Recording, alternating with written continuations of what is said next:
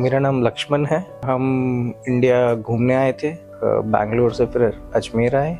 वहाँ पे dengue diagnose हुआ तो इमीडिएटली मेरी सिस्टर इन लॉ ने यहीं का ही रेफरेंस दिया, क्योंकि वो पहले से ही डॉक्टर राहुल माथुर को जानती थी। उनके हस्बैंड का केस भी उन्होंने ही देखा था अभी, थोड़ा टाइम पहले। तो इमीडिएटली जब यहाँ पे एडमिट हुए डॉक्टर साहब ने ट्रीटमेंट अच्छा शुरू कर दिया। और सबसे अच्छी बात है कि डॉक्टर्स पूरा टाइम अवेलेबल हैं। सिर्फ़ ये नहीं कि जब राउंड्स पे आ रहे हैं तो तो बात हो पा रही है। तो वो एक बहुत अच्छी बात है, काफ़ी अच्छा सपोर्ट मिला उससे। तीन दिन में काफ़ी बेहतर भी हो गया है अभी। यहाँ का सपोर्ट स्टाफ जो नर्सेस थी यहाँ पर दो तीन दिन उन्होंने बहुत अच्छा से ध्यान रखा। कुछ भी ज़रूरत होती है तो इमीडिएटली सॉल्व करते हैं। यहाँ का मतलब खाना भी काफ़ी अच्छा आता है। डाइटिशियंस वगैरह भी आते रहते हैं पूछने कि क्या अच्छा लगा, क्या अच्छा नहीं लगा।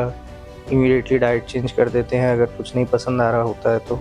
सी के बिरला हॉस्पिटल को धन्यवाद देना चाहता हूँ कि इस मुश्किल से जल्दी से निकाला बाहर और डॉक्टर राहुल माथुर को भी काफ़ी हार्टफेल्ट थैंक यू कि उन्होंने इतना सपोर्ट किया।